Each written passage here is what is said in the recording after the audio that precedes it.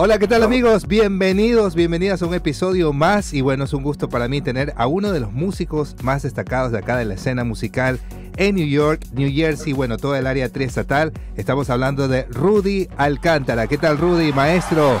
¿Cómo estás? Saludos, Estoy bien, estoy bien, gracias a Dios y gracias por invitarme. Bienvenido, bienvenido. Para mí es un gusto. Bueno, tú eres multifacético. Te he visto tocando teclado, piano, eh, bajo. ¿Tocas algún otro instrumento por ahí?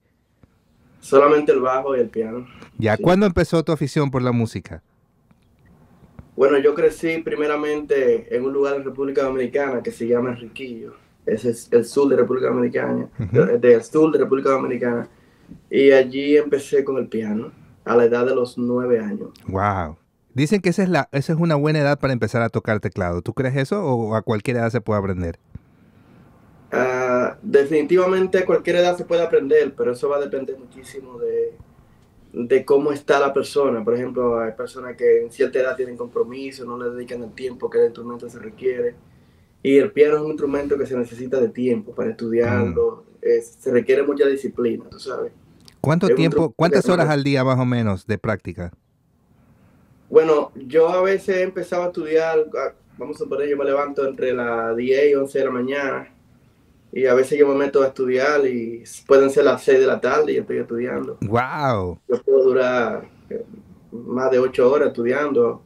A veces cuando no estudio mucho tiempo puedo durar tres horas, cinco horas estudiando, tú sabes. Increíble. Y estudio mucho, sí. Y cuando no, cuando no estudio me siento que me falta algo, tú sabes. Siempre hay mucho por aprender. Sí, sí. Nunca se termina en realidad esto de, de aprender. Eso es así. Y además de eso, la música, muchas personas creen que la música no es progresiva. La música es muy progresiva porque la música tiene, cre- tiene, está muy enlazada con la creatividad de la persona, tú sabes. Entonces lo que sucede con eso es que, eh, ok, vamos a suponer que en los años 60 un productor o un arreglista hizo un arreglo de una canción o una obra o cualquier tipo de pieza. Pero en esa música, esa obra fue compuesta por la creatividad musical de esa persona en esa época.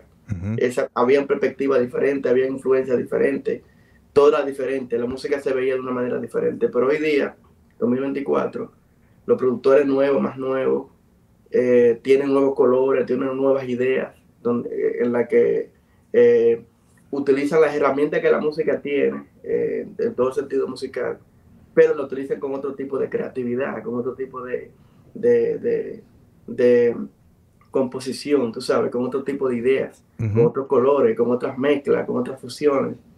Entonces la música ha ido, ha ido eh, eh, evolucionando, digamos. Ese ese es el tema de, de por qué la música nunca termina de aprender, porque cuando tú crees que ya tú sabes todo, no, tú tienes que aprender algo nuevo, tú tienes que aprender algo que, que tú no sabías. Tú sabes, oh, pero yo no sabía que ese sonido se podía utilizar así, o se podía implementar aquí, o yo no sabía que este acorde se podía tocar de esta manera, tú sabes. Eh, la música siempre está Evolucionando. Sí. Es verdad. Bueno, y cuéntame, cuando empezaste a tocar a los nueve años, ¿qué fue lo que en realidad te llamó la atención? Bueno, a mí me llamó la atención, ah, primeramente, el sonido de cómo el piano se escuchaba. El sonido, me, o sea, el sonido del piano eh, me llamó la atención. Más que todo, eh, más que, que la mecánica de que si usa un teclado y ese tipo de cosas, primero fue el sonido.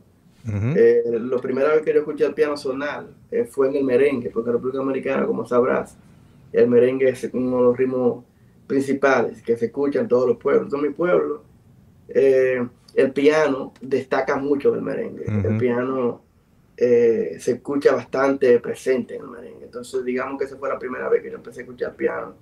Y me pareció muy interesante el sonido del piano. Wow. merengue. O sea, el merengue, digamos que fue tu, tu, tu primer amor. Bueno, no digamos el, el- el merengue como tal, sino eh, cómo sonaba el piano en específico. Mm, ok. Sí, porque si tú, si tú miras ahora en mi versión de hoy día, tú vas a ver que yo no toco merengue y no- Claro. no, toco música tropical, tú sabes. Eh, entonces, eh, yo diría que si, que si realmente me gustaba el merengue, tal vez hoy día yo hubiera sido merenguero, pero pero no, eh, me gustó más el, piano. Fíjate que Ramón Orlando, que es uno de los pianistas, arreglistas, compositores dominicanos más destacados que tiene la República Dominicana, señor Ramón Orlando, eh, Ramón Orlando cogía piezas de clásico, de música clásica, como vamos a poner del mismo Beethoven, de Mozart, y él cogía parte de esa música clásica y la tocaba en un arreglo de merengue. Hay muchísimos temas de él que tiene un intro de, una música clásica y él lo, adapta a un merengue. O sea que para que vea que el piano tenía un papel, un rol muy importante, sobre todo en sus arreglos, tú sabes. Y así como él, vamos a suponer los merengues de los 80, 80 a los 90, casi todos los arreglos que fueron hechos por él, por Ramón Orlando, el piano tiene algo, algo clásico, mucho de clásico, diría yo, de piano clásico. Y mucho también inclusive de jazz, tú sabes.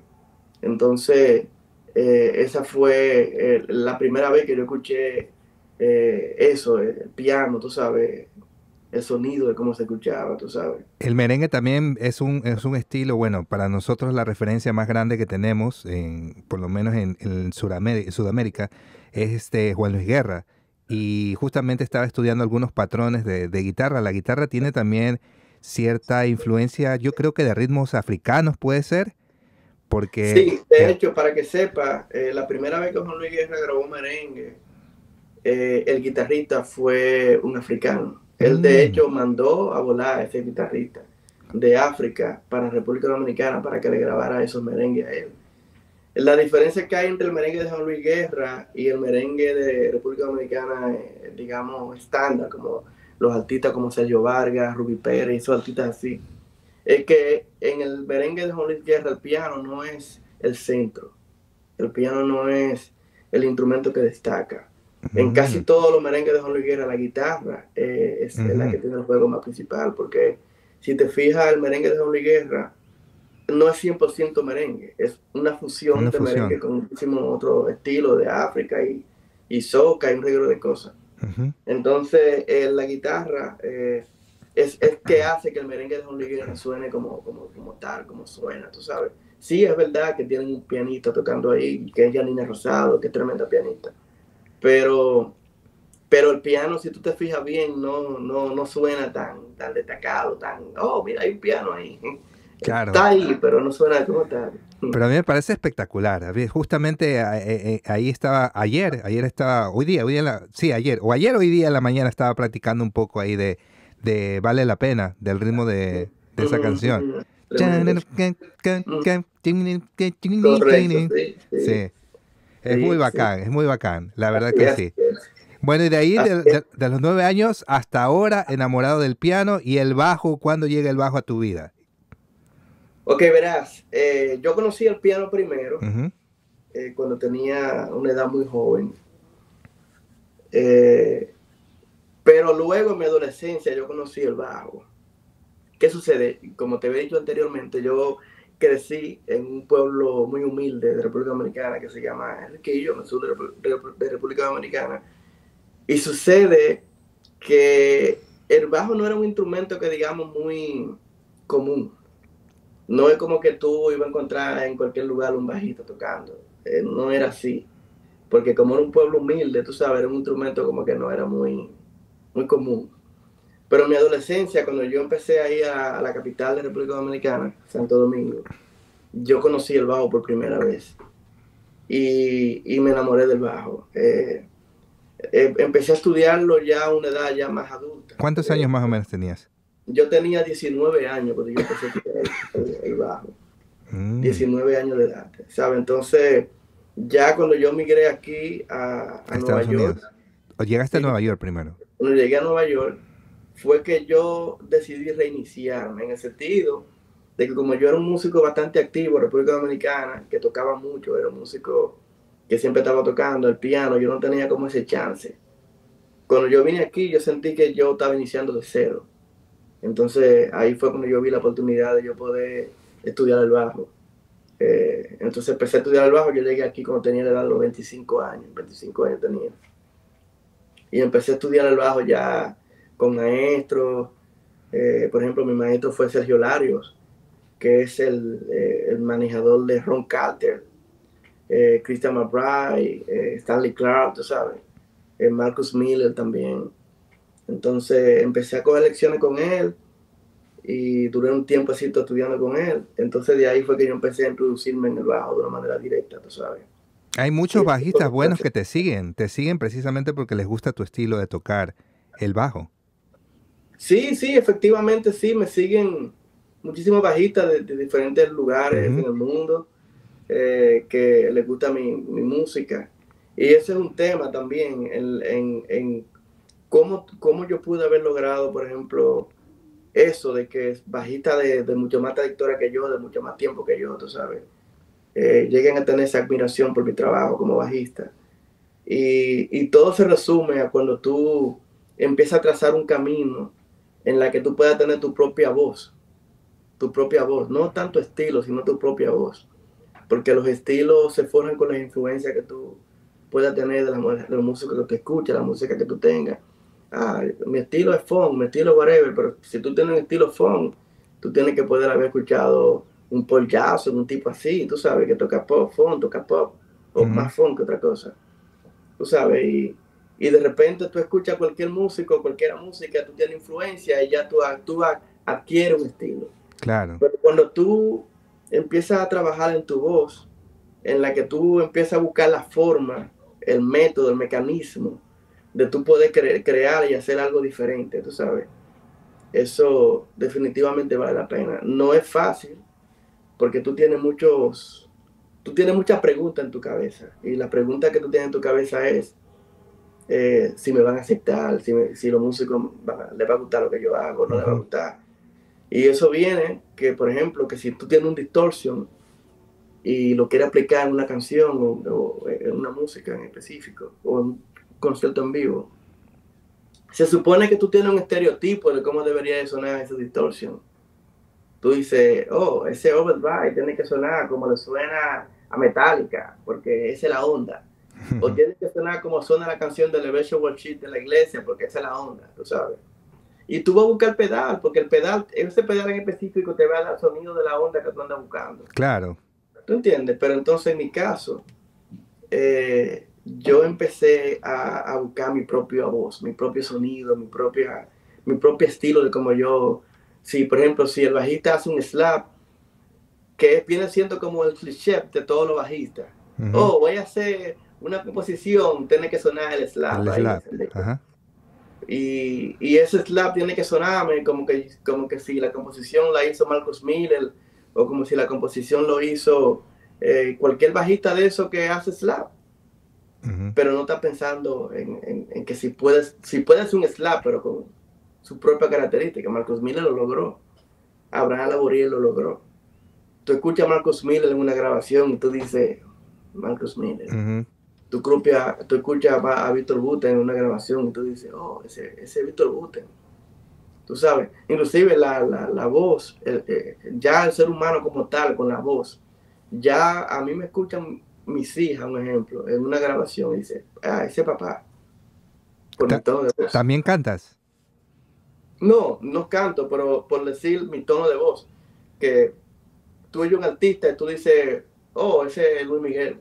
Ah, ok, ok, ok. Tú dices. Porque eh, tiene, tiene una característica vocal, tiene algo que le da la personalidad, que le da ese toque de, de, esa etiqueta de ese tal persona, ¿sabes? El sello. Entonces, eso fue lo que yo quise y, y todavía sigo trabajando en el bajo, crear esa etiqueta de que el que me siga, me sigue realmente porque le gusta las cosas que yo hago y no porque me tengo la técnica de fulanito o la técnica de fulanito por allá. Claro. Eso es lo que he querido. Por supuesto, eh, van a haber menos gente que le va a gustar, te va a seguir porque no, a lo mejor no le va a gustar tu técnica, pero vale más la pena que tú tengas dos gente que te siga por tu técnica, que tú tengas diez que te siga por la técnica de otro, tú sabes. Es verdad. Una, eso es lo que aprendí. Una pregunta, ¿a ti para, para lo que te jaló o lo que te llamó la atención del piano fue el merengue? Pues ahí escuchaste, te enamoraste del piano. Y para el bajo, ¿cuál fue el estilo que te, te atrajo? El bajo me atrajo, la primera, lo primero que me atrajo del bajo es el look, el look y la experiencia. esas dos cosas. O sea, no fue ningún estilo musical en particular. No, no, no fue ningún estilo musical, sino porque yo vine a conocer eh, esos bajitas que te acabo de mencionar ya al final, tú sabes. Eh, sino en la experiencia, ¿sabes? Yo siempre sentí que el bajo me daba una experiencia eh, emocionante. El piano no te da esa experiencia tan emocionante como te la daría una guitarra o un bajo o una batería, por ejemplo. Eh, son instrumentos que requieren más de, es más rudimentario, requiere más de que tú, de, más, de más trabajo de, de, ti, de parte de ti, de tu cuerpo. No tanto de tus manos, sino de tu cuerpo. Si tú eres guitarrista eléctrico y tú no tienes un buen performance, en una, en una plataforma, un stage, a ti no te va, no te va a contratar nadie, tú sabes. Claro. ¿Y, qué, qué, qué, características tú le llamas o qué características consideras un buen performance para un músico? La palabra lo dice todo. Performance es, desempeño. Eh, eso significa mucho. Eso significa cómo tú conectas con el instrumento, cómo tú conectas con la audiencia, cómo tú conectas con la banda, cómo tú conectas con el piso. Porque si tú eres un músico que está estático ahí, serio todo el tiempo, tú no estás conectando con nada. Pero si tú eres un músico que tú conectas con, con tu instrumento, que tú conectas con el piso, con que tú sientes hasta el piso como tú estás parado, que tú conectas con la audiencia, que tú conectas con la banda, tú sabes. Eso es performance, eso tiene un buen desempeño, tú tienes un buen rendimiento desde que tú empiezas el show hasta que lo terminas. Aparte de eso, musicalmente también tiene un buen rendimiento, porque está haciendo un trabajo espléndido desde que empezó, empezaste a tocar. Entonces, el performance de un músico no es nada más que tú tocas bien, tú sabes. El performance de un músico es como su nombre lo indica, es el rendimiento, es el desempeño, es, es el trabajo que tú haces como, como músico, con el, tu instrumento. Claro. tú sabes. Entonces, esa experiencia el piano no te la da. Porque el piano tú nada más tienes dos opciones, tú estás sentado, te estás sentado, claro. ahí. Pues la guitarra, tú agarras y le pones un sistema inalámbrico y te mueves de un lugar a otro, y te de un punto a otro, y te vas para allí, y te fuiste para allá, y brincaste para allá. En el bajo igual, tú sabes. Ok. Entonces eso requiere de un, mejor, un mayor performance, un mayor desempeño de parte tuya. Claro. Y eso, pues esa es la razón de por qué los guitarristas, los bajistas, toman mucho en cuenta muchas cosas en el instrumento, que si la acción, que si pesa mucho, que si es muy liviano, que si el neck es alto, eh, de 34 escalas, que sigue la escala. Son tantas cosas que todo eso afecta a tu performance.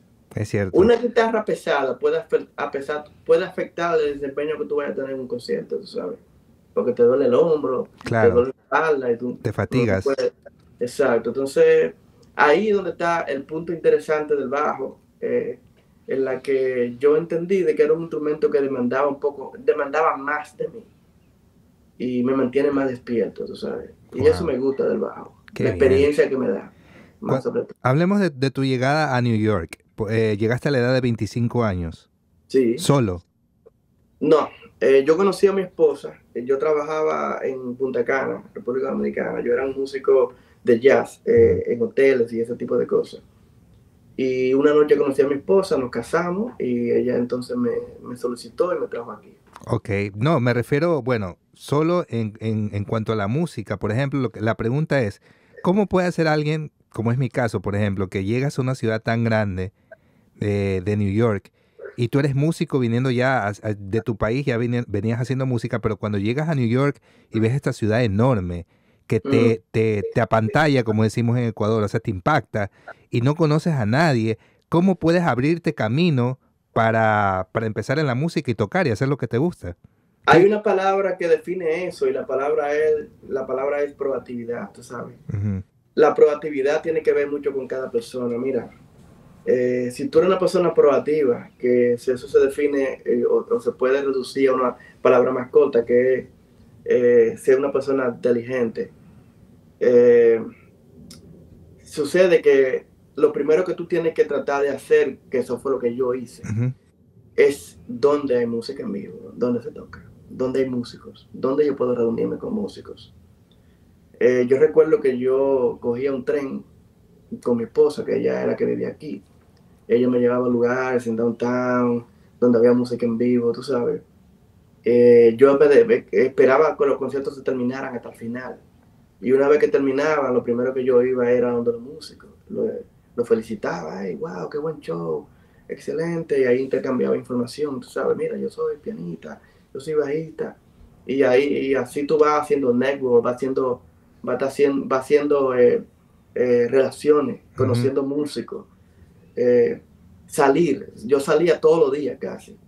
Okay. Y yo recuerdo que yo hice un amigo que era bajista, que es bajista, que yo le dije, oye, cuando tú vayas a ensayar, voy a tocar, déjame saber. Y yo siempre le preguntaba, dime, ¿tienes ensayo hoy? ¿Tienes hecho hoy? Y él me decía, sí, tengo un ensayo hoy en tal lugar. Y yo le decía, dame la dirección. Y yo iba al ensayo. Y ahí yo conocía músicos.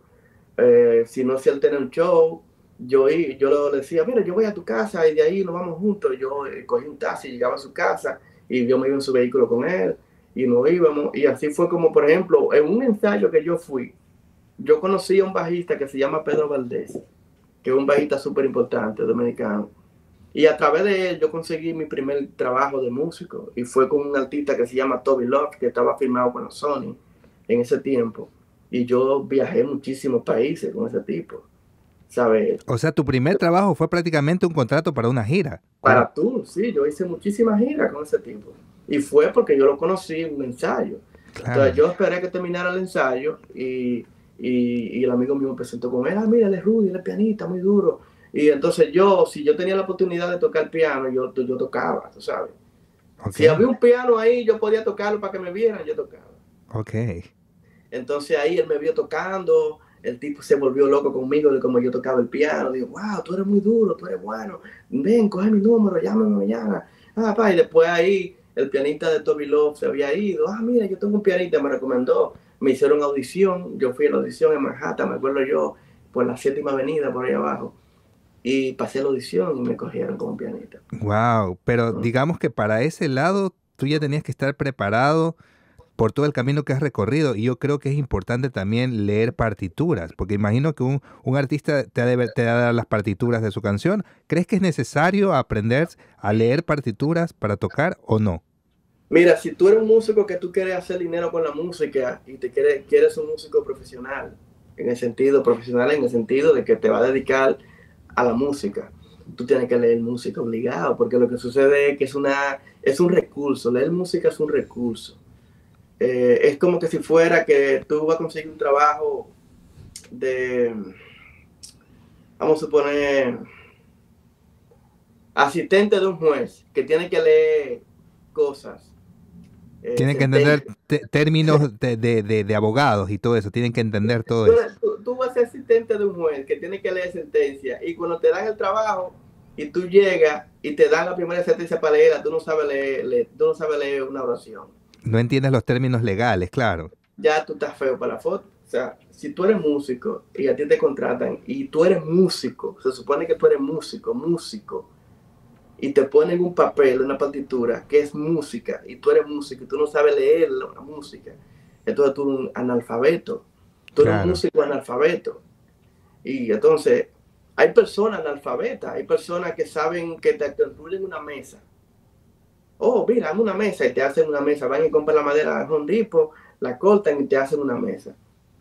Pero después de repente vienen y lo contratan. Mira, yo quiero que tú me hagas una mesa con estas dimensiones y esta vaina, pero no sabes medir con una regla. Los planos, claro. Entonces, ¿cómo carajo tú vas a una mesa y tú quieres venderte como alguien que hace mesas si tú no sabes tomar medidas para hacer una mesa a la medida de alguien que te la pida? Entonces, es un analfabeto. Entonces, eh, tú no puedes ser músico profesional siendo analfabeto. Es imposible, ¿entiendes? ¿Y tú, por ejemplo, qué aconsejas? Por ejemplo, ¿es bueno leer también cifrados o no? ¿O de directo a las partituras? Tú tienes que leer todo, eh, todo. no solamente cifrado. Mira, un algo que yo no sabía era el sistema, el, sistema de NAFIO, que es un, es un método, una metodología de lectura que se inventó en NAFIO, que es a través de un sistema de números, famoso el sistema numérico yo no sabía eso. A veces yo iba a tocar show con, lo, con americanos, con morenos, que me decían eh, los números, me decían uno, y yo estaba perdido, yo no sabía de qué mierda me estaban hablando. Uno, dos, ¿y qué carajo me está hablando de tipo? Yo no entendía. Y, y, el tipo me decía los números y yo no sabía lo que él me estaba diciendo. Entonces después yo agarré y hablé con un amigo mío de americano de aquí, le pregunté, ve acá, eso que me dicen los números, yo no entiendo eso, ¿qué es lo que es? Y ahí me explicó y yo me volví loco estudiando eso. el, el famoso método en el Nashville. Si tú vives aquí en Estados Unidos y tú no sabes, tú no sabes leer números, entonces tú estás feo, porque la mayoría de los americanos blanquitos y morenos le así es como ellos leen, tú sabes. En números. En números. Entonces, y el, y el sistema es bastante extenso, no solamente números y ya, hay infinidad de símbolos que hay que conocer. Entonces es un sistema completo, tú sabes. ¿Y lo aprendiste solo, autodidacta? No, yo lo estudié porque hay un libro para estudiar ese sistema.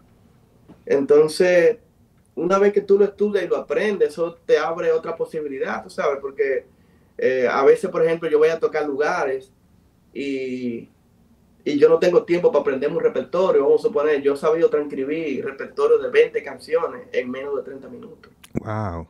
Sí, claro, yo he transcrito 20 canciones en menos de 30 minutos solamente en números. Yo cojo, hago un set en YouTube de las 20 canciones, la doy play y mientras se están sonando yo lo estoy transcribiendo. Ok. Y están escritos conciertos completos. Mira, por ejemplo, uh, no se va a ver ahí en la pantalla, pero este fue el último concierto que yo toqué. Y ese concierto entero está en números. Ah, ok. Números. Y, y así, eso lo toqué yo el domingo. Y, y, eran más de 20, eran como 25 canciones. ¿Y cada número qué significa una nota o, o... Los números mira lo que pasa. Tú sabes que cuando tú hablas de lectura musical, primero tú tienes que hablar en español. Te voy a decir en español, se llama armadura de clave. Eh, en inglés le dicen llave, key. El key de, una canción. Eh, pero en español, armadura de clave. La armadura de clave lo que te va a decir a ti es, es la intención de la composición. La intención de la composición es, esa composición está escrita en, en do mayor.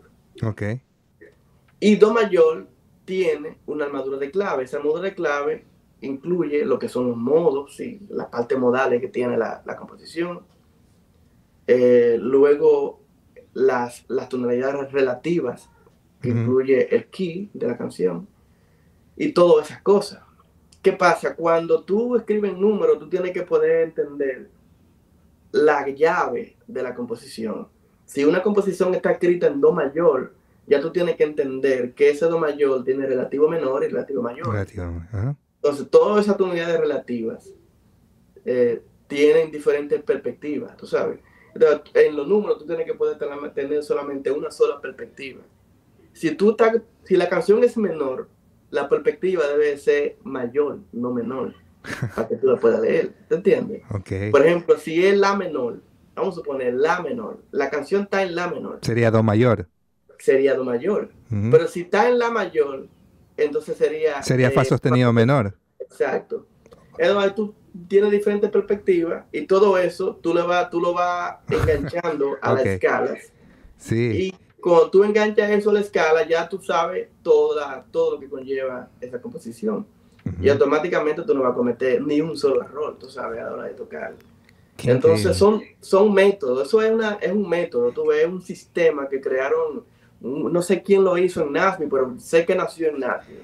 ¿Y, tú das clases actualmente para, o te dedicas a dar clases de bajo, de teclado o de, música o no? Anteriormente yo fui maestro de música en una escuela en Brooklyn eh, que patrocinó una iglesia, pero y he dado he sido maestro también de manera personal, con, con alumnos personales, así que yo voy a su casa, vienen a mi casa. Pero últimamente no lo, no lo, no lo he querido hacer por mi tiempo. Mm. Yo tengo un tiempo un poquito complicado, entonces por eso no me permito. Yo lo sé. Por cierto, te agradezco por tu tiempo, por, por conversar y, con esta conversación tan nutritiva musicalmente. Gracias, hermano. Y, y bueno, en el, en el trayecto eh, que, que, hemos, que yo he podido estar acá, bueno, conocí justamente a Sus Vázquez, que es la guitarrista de Carol G, y gracias a ella pude conocerte a ti eh, pude ir a tu show y toda esa cosa. Y mira, estamos conversando ahora. Y me contabas también que conociste a Sus desde los inicios, que ella también es muy estudiosa. ¿Qué, me puedes contar de ella? Mira, Sus, Sus Vázquez el ejemplo claro de lo que yo, el ejemplo, el ejemplo claro de lo que yo te dije ahorita, que es la proactividad. Cuando una persona es proactiva y diligente, definitivamente va a crecer. Eso no queda duda. Mira, Sus, yo estaba tocando en Brooklyn con una banda. Y un amigo mío, que yo lo conocí por Instagram, que somos muy, muy buenos amigos ahora de Chile, eh, me dice, mire, yo tengo una amiga que la conocí por Instagram, que es guitarrista, y me gustaría que tú la conocieras, me dice. Ella llega hoy de Colombia, me dijo. Cuando ella llegue, yo la voy a recoger y te la voy a llevar al show. Ese fue el primer día que ella llegó, pisó Nueva York. Wow. Ella vino con visa, la primera vez que vino, fue la primera vez que ella vino aquí. Vino con visa y ella va al show y me la presentan. Ah, mira, yo soy Su, sí, mira, yo toco guitarra, yo qué, pero yo no creí que ella era una guitarrista de que pro, tú sabes, yo pensé que era una guitarrista de esa música que le gusta la música y que chévere. Okay. Y nada, pero me cayó bien su forma y quedamos en contacto. Después ella duró un par de días aquí, ella después se fue para Colombia. Y en Colombia ella gestionó que la, escuela de, de Drum Collector le diera una beca. La becaron. Ella gestionó desde Colombia una beca y le dieron la beca. Al darle la beca, ella se viene a Nueva York con visa de estudiante. Y cuando ella se establece aquí, ella me contacta de nuevo. Ah, mira, que yo voy a estar aquí un tiempo estudiando, me dice. Entonces ahí yo me reúno con ella y ahí yo le di su primer trabajo. agarré, la puse a tocar conmigo en un show, recuerdo, para acá arriba. ¿Qué, tocaban? ¿Jazz? ¿Fue el proyecto de eh, jazz? la primera vez que ella tocó conmigo no fue jazz, eh, fue música pop, así normal, música cover y eso. Ok. Eh, yo recién acababa de grabar mi primer disco que era On The Way. entonces de ahí, cuando yo empecé a tocar mi disco, entonces ahí empecé a utilizar a ella como guitarrista principal de mi banda. Entonces empezamos a tocar grupo, empecé a, empezamos a tocar en diferentes lugares, eh, empezó a tocar, ella ahí empezó a darse a conocer con más músicos, porque ella era muy diligente. A sus, a veces, yo por ejemplo me citaba con ella para verla en downtown, en aquel lugar, y ella se venía con su guitarra en el tren, y mientras, porque yo siempre llegaba tarde a los meetings que yo tenía con ella, y yo la encontraba a ella en la calle, sentada en la acera con la guitarra estudiando. Wow. Sus nunca dejaba de estudiar. Sus estudiaba en el tren, Sus estudiaba en la calle. Sus estudiaba donde quiera que ella podía y estudiaba. Ok. ¿Tú sabes? Entonces después consiguió el trabajo con Carol G, tú sabes, sola, porque con Carol G ella tocaba guitarra con un DJ. Era.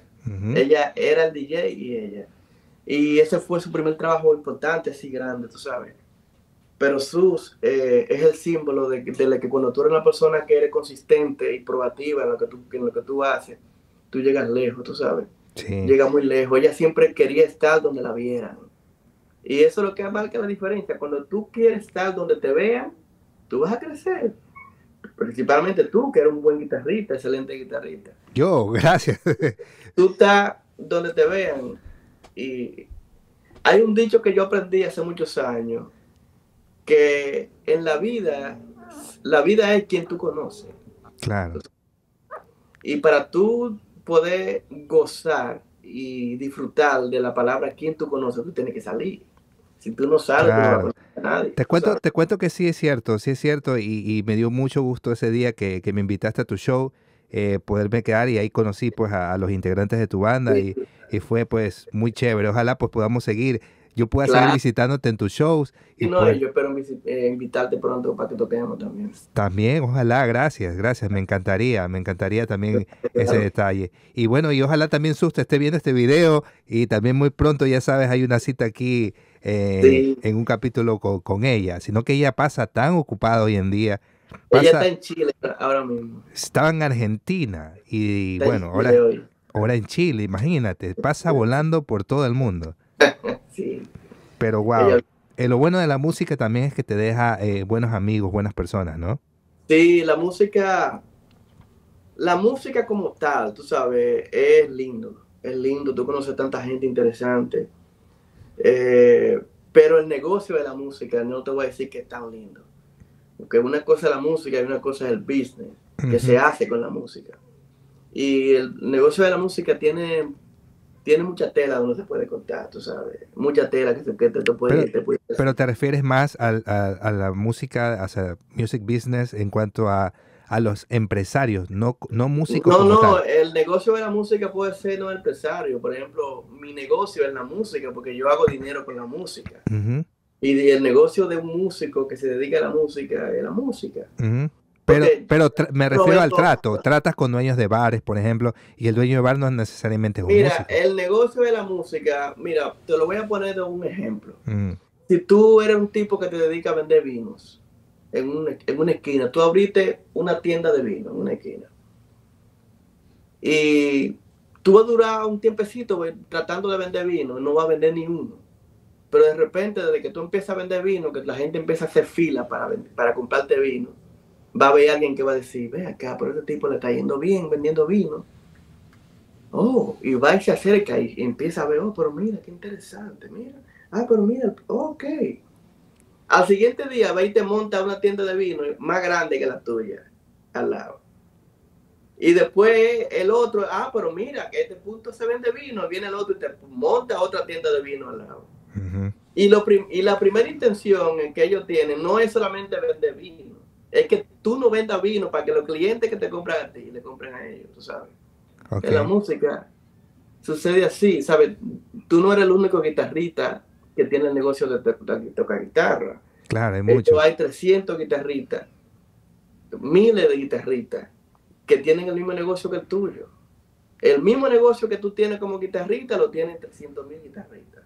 Claro. Y, y en Brooklyn, si hay 40 restaurantes, 40 venues donde tú puedes tocar, hay 300 guitarristas que quieren tocar en el mismo venue que tú. Claro. Si hay tres bandas que tienen trabajo para que tú toques, ellos hay 50 guitarristas que quieren tocar en esa banda que tú quieres tocar también. Claro. Entonces, digamos que el negocio de la música es complicado.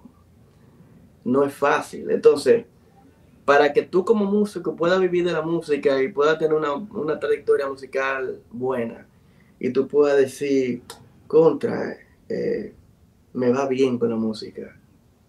No basta nada más con que tú seas un buen guitarrista y con que tú digas, yo leo música, yo tengo la guitarra Fender Custom Shot de 7 mil dólares. Claro. O yo tengo la pedalera más grande que hay con todos los pedales más mejores. No hay un factor demasiado importante que juega ahí y te lo voy a poner en un ejemplo.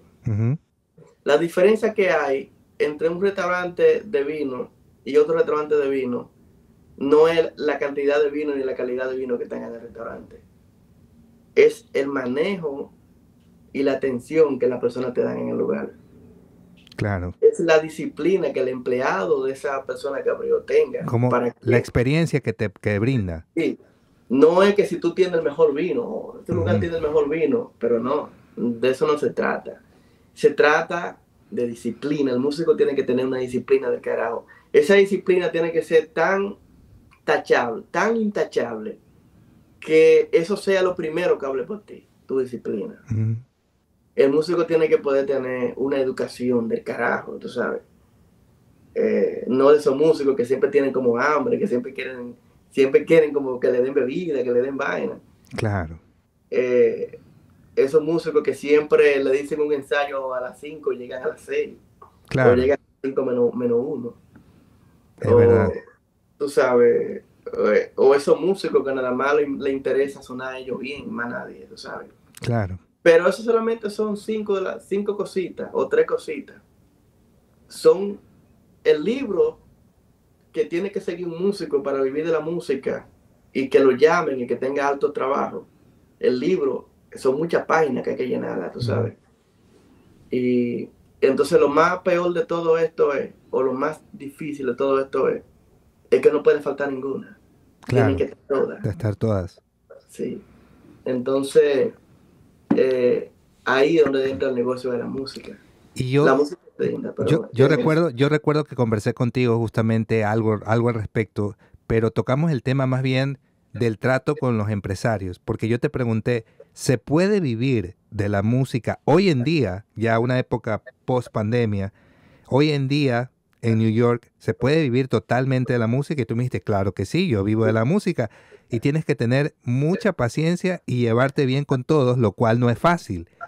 Sí. ¿Podemos expandirnos un poco en esa idea? ¿A qué te refieres con llevarte bien con todos? Ok. Mira, el tema de la música eh, contrae muchas formas de pensamiento. Una de los pensamientos más, más que más se da en la música es el fanático. Hay músicos hay personas que son muy fanáticas de un instrumento, o son fanáticas de un sonido, o son fanáticos de una técnica, o son fanáticos de algo, o son fanáticos de, que todo tiene que ser perfecto, tú sabes. Tú tienes que tocar perfecta la escala, tú tienes que tocar todo perfecto. Eh, hay músicos que son fanáticos de que si tú cometes un error en un show, eso ya es algo terrible, eso es algo, oh my God, eso fue terrible, cometió un error. Eh, y, es solamente por ese error, ya eso es un lío, es un problema. Entonces, eh, cuando tú entiendes el lugar que tiene un error en una canción, que un error lo puede cometer cualquiera, que tú eres un ser humano que puede equivocarte eh, que tú no tienes que sonar necesariamente igual como fulanito, porque fulanito es fulanito y tú eres fulanito. Que tú tienes toda esa cosa clara. Es como que si fuera que tú tienes, tú tienes un manual de vida en la mano, de que yo te puedo decir a ti, tú lo hiciste muy bien. Fue excelente. Ah, mano, me equivoqué. Está bien, mi hermano, eso está bien. Tú te equivocaste, pero no te preocupes, que en la próxima tú lo vas a hacer mejor. Es como ese manual de vida, esa, esa forma de tú tener, eso se llama bondad. Entonces, la bondad ya casi no, no, no existe, tú ves. Entonces, es como que si fuera que tú tienes un contrato que te van a pagar 200 dólares y de repente te dieron 195. Eh, y tú dices, oh, 195, está bien, hermano, no te preocupes, tranquilo, estamos bien. Tú sabes, ese nivel de positividad, ese nivel de cosas trae, trae mejores cosas. Mira, yo he ido a show y el que me han pagado hasta 50 dólares menos de lo que me tienen que pagar. Yo me lo han pagado, 50 dólares menos. Es más, te lo voy a poner más, más, peor de ahí. Yo he ido a lugares que no me han pagado. Wow. Que yo termino de tocar y yo recojo mi piano y no me han pagado. Que me pasó no hace tanto. Y no me pagaron. Y yo saludé al que me contrató. Hey, mi hermano, todo bien. Gracias por invitarme. Qué bien la pasé. Chévere, mi hermano. Gracias, tú sabes. Y me, despedí, le di un abrazo para papá y me fui. No me pagó. Yo ya iba manejando mi casa. Yo no me molesté ni nada. Yo iba normal, así como que no pasó nada. Y él me llama. Me dice, Rudy. Pero a mí se me olvidó pagarte. Me dice el Y yo dije, oh, oh, sí, sí, sí, sí, verdad, a mí también se me olvidó cobrarte, disculpa. Le dije, tú sabes, de verdad, discúlpame. Mira, pero, ¿y cómo hacemos? No, no te preocupes, la semana que viene nos juntamos y te vamos a dar dinero. Pero tú sabes después qué pasó de ahí. ¿Qué pasó? Ese tigre ahora me, me, me, va a pagar más dinero y me dio un montón de fechas de trabajo. Que claro, o sea, claro. Si yo hubiera estado, ah, no, mira, pues tú no me has pagado, ah, ah, o con el que me pagó los 50 dólares menos, que tengo tres fechas con él que vienen, que me va a pagar casi el doble. Está bien, claro. Pero si yo por esos 50 dólares menos, mierda, loco, no, no te puedo aceptar 50 dólares, no, no, no, no, no, págame mi cuarto completo, yo vine aquí para que tú me pagues. Pero eso es, eso es, digamos, un estilo de vida también, tenerlo, tener esa filosofía, una filosofía así de, de, de sobrellevar las cosas con paciencia. Sí, mucha paciencia, es una de las claves, tú lo acabas de decir, esa es una de las claves. Mucha paciencia. Eh, tú tienes que poder tener también buenas estrategias eh, para tú llevarte bien. Buenas estrategias porque muchas veces para tú, para tú, para tú poder lograr dar un paso más grande, tú tienes que poder tener una estrategia para poder darlo, tú sabes. Eh, por ejemplo, hay, hay personas, hay lugares que no te dan una, no te, no te dan la oportunidad de manejar algo grande porque no confían en ti. Porque tú no le has dado esa, esa confianza. Hay que ganarse la confianza, claro. Entonces, para tú poder ganarte la confianza de que te pongan algo realmente grande en tus manos, tú tienes que poder trabajar en eso. Eso no es de que, de que, ah, no, porque yo, no. Tú tienes que ganar. A mí me han llamado gente dura, gente importantísima de, de la música. Y, y a veces, yo te voy a decir, a veces yo me he llegado a preguntar, ¿por qué a mí? ¿Por qué me llamó a mí? Me llamó a mí porque confío en mi trabajo, porque confía en mí, porque... Entonces, muchas veces hay inclusive, hay artistas, inclusive hay, hay empresarios que, que, si tú no le das un buen vibe, aunque tú seas un excelente músico, no te van a contratar. ¿No le das un buen qué, perdón? Un buen vibe, tú no le das una buena vibra. Ah, vibe, ok. No te van a contratar. Entonces, eh, todas esas cosas sí forma parte de, de, de, eso que tú estuve hablando. Entonces, eh, también una buena sonrisa, un buen saludo. Cuando yo llego a los lugares, yo me gusta siempre saludar a todos. Hey, mi hermano, bien siempre con esa buena energía, tú sabes. Sí, yo lo vi, yo lo vi. Sí, muy y bien. Eso, eso marca la diferencia, tú sabes. Sí, la que verdad. eso es lo que tú tienes de Sus también, Sus es así también.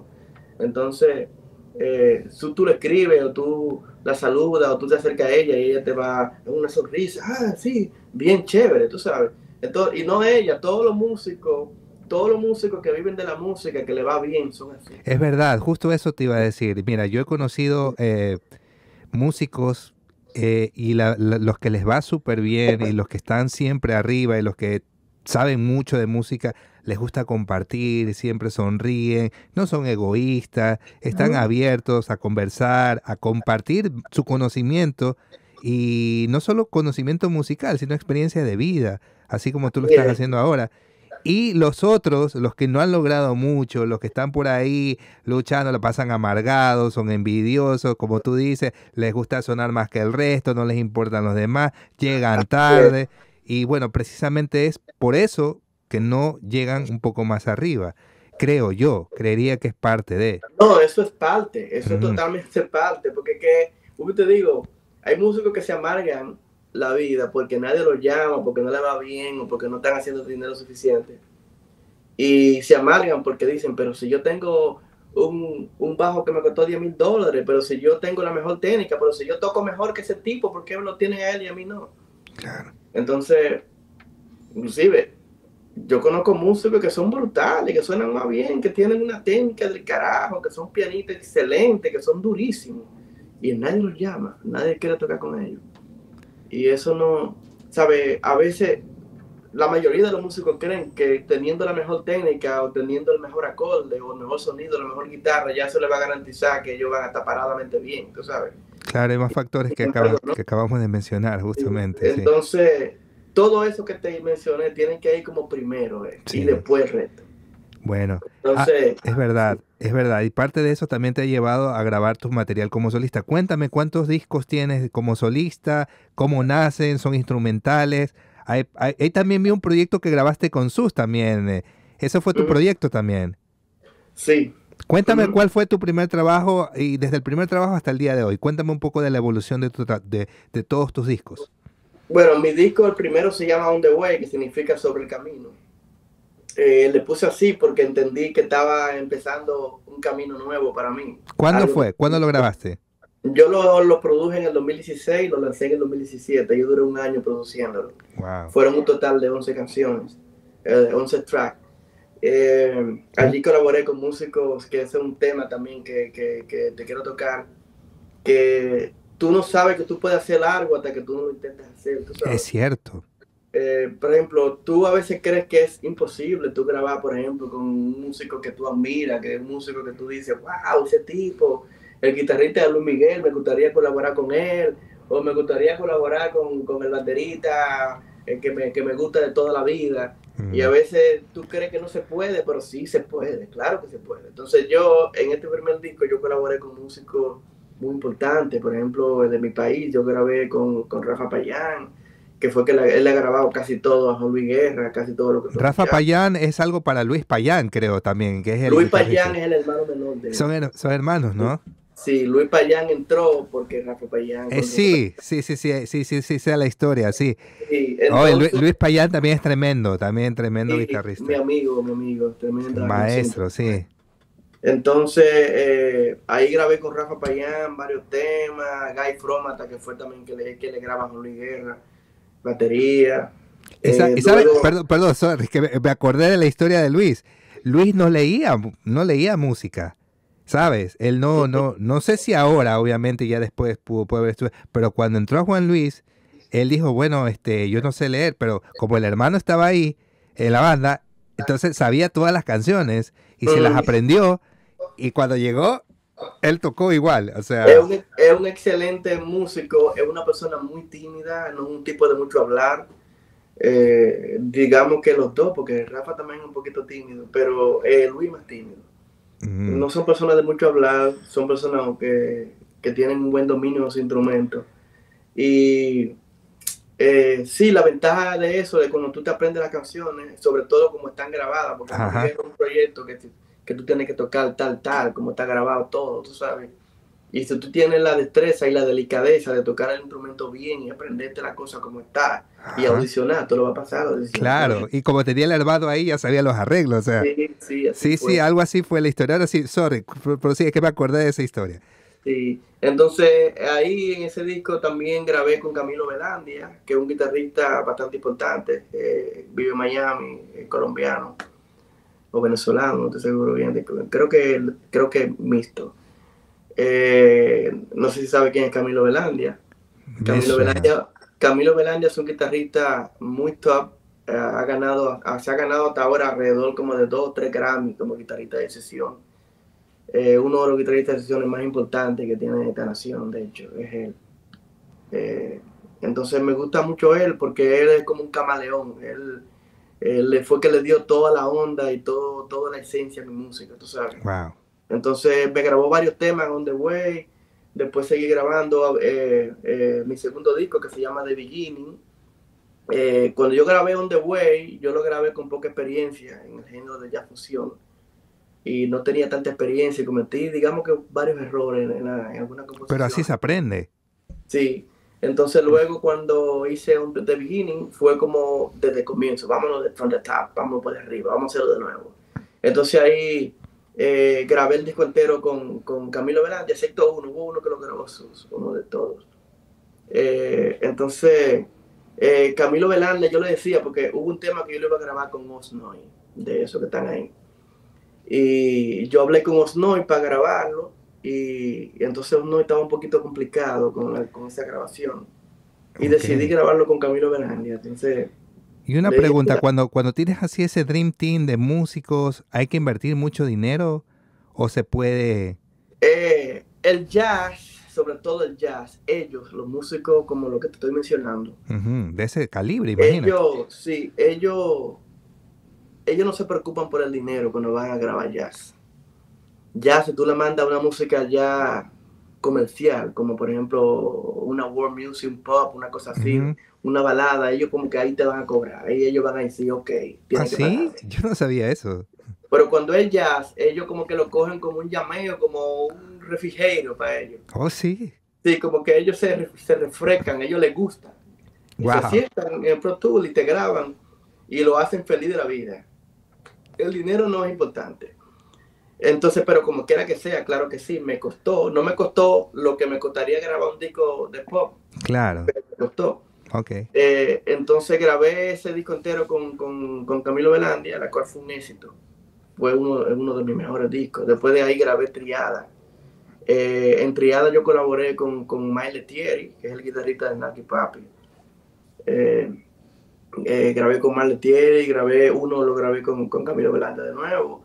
Y hubo otro que lo grabé con, con Diego Barosa, un guitarrista brasileño que se llama Diego Barosa, que es brutal, debería de chequear bueno, todos los guitarristas, bueno, los que son reconocidos de Brasil, todos tocan brutal. No sé qué tiene Brasil, pero que ha salido un montón de... Y, uno, cada uno tiene su esencia, pero todos tocan brutal. Sí, este es buenísimo. Cacao este Santos, Larry Basilio. Este es desarrollador de Fractal. Él le hace sonido de Fractal. Él, es el que crea los presets para Fractal. los para Fractal, el que hace presets para Fractal y es también un embajador, embajador de la marca de Fractal en, Brasil. En Brasil. Sí, el tipo es brutal. grabé en Triada, grabé, con, grabé uno con él.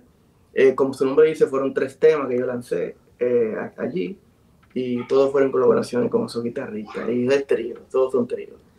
Eh, luego grabé un, un, disco que se llama Headworld, que fue mi cuarto disco.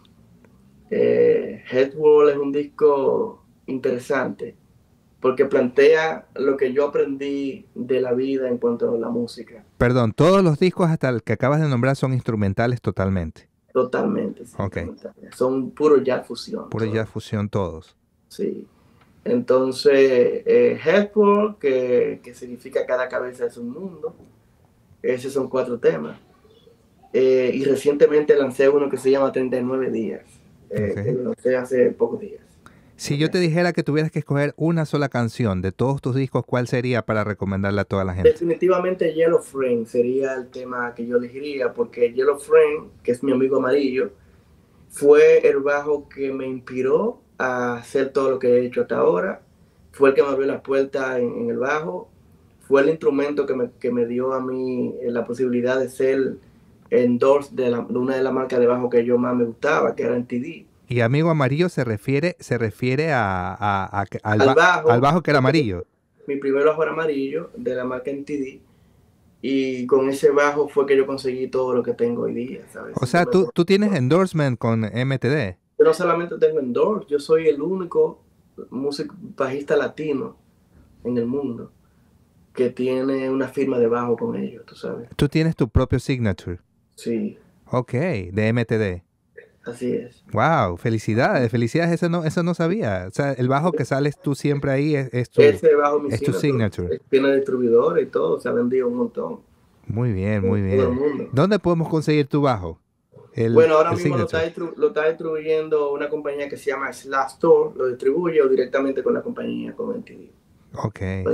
Sí. Muy bien, felicidades. Eso, mira tú, son detalles que ahí nos vamos, vamos enterándonos y, y la verdad que me da muchísimo gusto porque eres una gran persona y, y un gran músico, maestro, Gracias, que, gracias. que está gracias. logrando mucho. Yo te he visto tocar en shows desde tú solito, prácticamente haciendo la armonía y los bajos con el teclado y es espectacular. Sí, Eso es un show realmente, porque con la mano izquierda tienes los eso- sonidos del bajo como tal y vas haciendo los patrones como haría un bajista y con la mano derecha haces el resto de... de- Ahí, ahí tuve, eh, al yo tener mi signature con esa compañía, ahí se reduce lo que te acabo de decir hace un rato, que es que cuando tú tienes tu propia voz, eh, esas son de las cosas que, que son posibles, tú ves. ¿Y cómo fue el es- acercamiento con, con, con, con esa marca? ¿Cómo ellos Cuando ellos me hicieron el bajo amarillo, que era NTD Super 5, Ujú. eh, yo empecé a hacerle modificaciones a ese bajo con los conocimientos que tengo de electrónica y ese tipo de cosas. Ah, también haces eso, ¿en serio? Sí, Qué bacán, mira, tú no sabía. Es que, ¿sabes qué? Bueno, haciendo un paréntesis sobre la conversación, quiero contarte, y bueno, ya creo que lo he contado en algún otro episodio, aquí en Estados Unidos, cambiar una pastilla, así, un- un- una pastilla, sí, es muy caro. es caro. sí. En nuestros países es barato. Incluso yo tenía mis amigos, me lo hacían gratis. Pero Ujú. si- a- es, es barato. Tú pagas que 20 dólares máximo por cambiarlo. Aquí te cuesta mínimo 100 dólares. Mínimo. Y mínimo. cuidado. Mínimo. Y si ya son más cosas, por ejemplo, yo quiero instalar ahora un, un sistema de que tiene con push-pull para, para hacer los single coil. eh. Eso de ahí te cobran más. Te cobran como 200 dólares. Sí. Y, y me yo aprendí a hacer, me yo parece aprendí a hacer todas terrible. esas- yo aprendí a hacer todas esas cosas. Eh, modificaciones, eh, reparar, pero yo lo hice más como para mi instrumento y eso. Entonces yo aprendí a hacer eso, yo empecé a hacer las modificaciones, le hice muchas modificaciones a ese bajo amarillo, muchas modificaciones. Yo recuerdo que un día yo estaba en una actividad de una compañía que me patrocina que se llama La String. Las eh, cuerdas. Sí, Ajá. y yo tuve una actividad de ellos. Y Michael Tobias, que es el luthier, me vio tocar. Y cuando él escuchó, él escuchó que el bajo sonaba diferente. Ok. Y dijo, Y ¿qué le hiciste? Que se el que me pregunta que qué yo le hice, que qué pasó. Ahí yo le cuento. Y él me dice, oh, interesante. Y yo recuerdo que ese fue el bajo de la sensación de, la, de esa tarde. Todo el mundo, todos los bajistas que ven ahí querían tocar. ok. él cuando ve eso dice, "Mm, ok, este tipo. Ok. Después de ahí, yo me embarco en el proyecto de crear ni siquiera Signature. Yo lo que quería mandarme a hacer otro bajo Claro. con especificaciones más profundas. Porque no es lo mismo tú mandarte hacer una guitarra diciendo, ah, yo quiero la madera tal, quiero los picos tal, quiero ponerle esto. A que tú te mandas un instrumento ya profundo, de cosas, frecuencia y cosas ya profundas, que ya eso son cosas avanzadas, tú sabes Claro. como tú le vas a un luthier, no, porque la frecuencia, no, porque para acá, porque la esto, porque para acá. Y ya cuando tú le vas con esa parte técnica tan avanzada, ya es complejo, tú ves. Ahí el, el tiene que meterse muy, muy en serio en la Claro, claro. Al principio ellos como que no querían hacerlo porque la mayoría de esos luthiers tienen ya un... Un estándar ya, ya establecido. Sí, de cómo ellos hacen sus cosas. Y tú estás rompiendo ese estándar ahí. Exacto. Y ellos tienen su, su asunto de cómo ellos fabrican. Entonces, como que no querían. Ajá. Pero ahí de una vez Michael Tobías, como, como CEO y dueño de la compañía, y Lutiel, me dijo que sí, que lo iba a hacer. Qué bien. Entonces lo, lo construyeron el bajo. Cuando ellos construyeron el bajo, ellos vieron el resultado. Y el resultado les gustó mucho. Ok. Y lo vieron como algo nuevo para la compañía, un plus. Y entonces decidieron transformarlo en una versión sin anatomía. Se llama así mismo NTD Real. Wow. Tú puedes buscar en Google, puedes ir a la página de ellos y lo puedes encontrar. Eh, entonces, eh, se construyó ese y después de ahí entonces se empezaron a ordenar, muchos bajitos empezaron a ordenar los bajos. Se empezó a vender. Ellos me pagan un royalty. Claro, yo sé.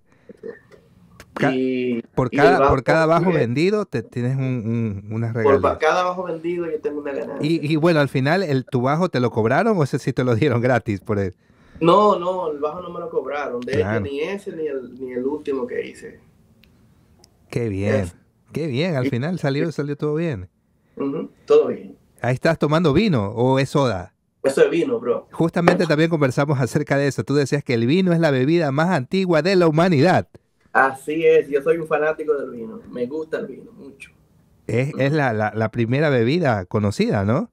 Es la primera bebida, la bebida más antigua que la humanidad tiene eh, la uva, eh, desde que el ser humano entendió que podía machucar la uva y que podía sacarle jugo, y que el jugo cuando se envejecía se transformaba en alcohol ya. ¿Cuál es tu favorito, el chileno o el argentino? Bueno, ahora mismo yo estoy fan, a mí me gusta el chileno y el argentino también, la uva Malbec, por ejemplo, que es una uva riquísima. El chileno con los Cabernet son bien, bien famosos, con la uva Cabernet Sauvignon. Pero, pero nada mejor como un vino de, Napa Valley, de, de, California. Eso, sí, ese no he probado. sí, esa tierra Napa Valley tiene vinos que son increíbles. Mira tú, de acá de Estados Unidos, ¿no? Sí, son un poquito caros. Una botella de Napa Valley te puede costar 90. esa es la marca, Napa Valley. Napa Valley es la tierra, el lugar. Ok. Pero la uva son Cabernet Sauvignon normal, como cualquier vino, solamente que esa uva viene de una tierra específica que es Napa Valley. Y entonces digamos que la uva tiene un sabor muy característico, tú sabes. Me imagino. claro, claro. Qué espectacular. A mí también me gusta mucho el vino y a mí me gustan los dos que acabas de nombrar, el chileno y el argentino. Pruébate el Caimus. Pero creo que soy más fan del argentino porque siento que el argentino es como más amarguito, el, el Malbec. Sí, a mí me gusta el Malbec mucho, mucho. Yo soy fanático también del Malbec, me gusta, pero creo que cuando tú pruebes los vinos Napa Valley vas a cambiar la idea. ¿Alguna marca en particular? No una, bueno, sí, hay muchas, hay un montón. Por ejemplo, para de entrada tú te puedes probar el Bonanza, que es de Napa Valley, que es un vino que la botella te puede costar 30 dólares. Ok, para entrar, para entrar por ahí, porque el otro dice que vale 90. No, hasta más. Por ejemplo, el, el, el, el, Opus One, la botella vale 600 dólares. ¡Wow! El Opus One. Y es de Napa Valley también. ¿Te imaginas eh, la botella de 600 dólares tomando cada copa así? El Omici, por ejemplo, de Napa Valley, la botella te puede costar 150 dólares, tú sabes. Probaré el Bonanza para, para empezar. Bonanza, tú tienes Bonanza. Oh, tú tienes también el Joss Celar, que la botella vale 30 dólares, que es un vino brutal de, también de Napa Valley. Hay un montón de vinos de Napa Valley que son económico. Los probaré definitivamente porque sí, a mí me encanta, me encanta el vino. Yo también soy fan del vino. Realmente yo, yo no soy, no soy muy bebedor, yo no tomo. Eh, no me gusta la cerveza, por ejemplo, que, que, la mayoría de gente, a mí no me gusta, no sé, no, no me, nunca me pasó la cerveza, eh, pero el vino, yo sí considero que el vino es algo sublime, algo espectacular. Tiene muchas propiedades buenas, por supuesto, no se puede abusar mucho tampoco porque claro. ¿sabes? Claro. No es alcohol duro como un whisky o algo así, tú ves, porque no tiene mucha, mucha cantidad de alcohol acumulada. Porque un whisky tiene 40%, 50%. Claro. Pero una, una, botella de vino lo máximo que tiene es un 14 o 15%. Oye, y, hablando un poco, estamos también hablando ese día de, la edad y tú me dijiste que me, veo joven, que yo te dije, no, yo ya tengo 43. Pero cuéntame, ¿tú cuántos tienes? No hablamos. Yo tengo, 39. ¿Tú tienes? Oh, yo soy mayor que tú. Sí, wow. tú eres más joven que yo. Mira tú. No sabía. Ok, ok, bien interesante. Sí, eh, y el peinado que tiene ahí. sí. Ahí como dicen en República Dominicana, tiene un flow ahí. El flow, esa es, el flow. Oye, hermano, para mí ha sido un gusto eh, poder conversar contigo. Cuéntame cómo te podemos encontrar en las redes sociales para la gente que no te sigue y te quiera seguir. Claro, como Rudy Alcántara oficial. Rudy con doble D, por favor, porque yo Rudy con doble D y. cuando, cuando Sus me dice Rudy Alcántara, yo, claro, claro, sí, yo, yo, y lo buscaba con la D y no, no salía. Cuando lo busco con doble D, ahí está. Ahí sale. Y si lo, que ponerlo con doble D. Y, si, lo, y si lo seguía el maestro. Se van a www.rudyalcántara.com y ahí van a encontrar todo junto en un solo lugar. Van a encontrar mi música, van a encontrar mi video, van a encontrar mis redes sociales.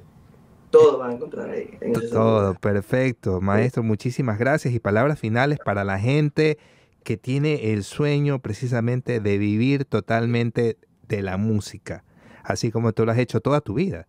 Toda tu vida has vivido de la música. Porque, bueno, haciendo un paréntesis, mucha gente em, piensa de que es imposible, sobre todo en ciudades grandes como acá en New York, y que, que no, no, lo puedes lograr. Palabras finales, tus consejos. Mi consejo es que se puede lograr vivir de la música, pero tienes que ser muy consistente, nunca le bajes a estudiar, nunca le bajes a, a exponerte, no tenga miedo de exponerte, exponte. Pero sobre todo tienes que tener mucha disciplina. Eh, y la disciplina es lo que es todo. La disciplina es lo que te permite a ti ser consistente. Sin disciplina no puede haber consistencia. Sin disciplina no puede haber, yo voy a salir hoy a las 5 de la tarde para estar a las 6 allí, eh, o para estar a las 7 en tal lugar, tú sabes. Sin disciplina no va a haber, hoy voy a salir porque voy a conocer más, más, más músicos, tú sabes. Entonces, tienen que salir, tienen que ser proactivos y tienen que seguir dándole, no pierdan nunca la fe, tú sabes. Tengan siempre la buena fe. Ese es lo que te digo. Perfecto, muchísimas gracias y bueno, a toda la gente ya saben que nos puede escuchar también en Spotify y que se suscriban.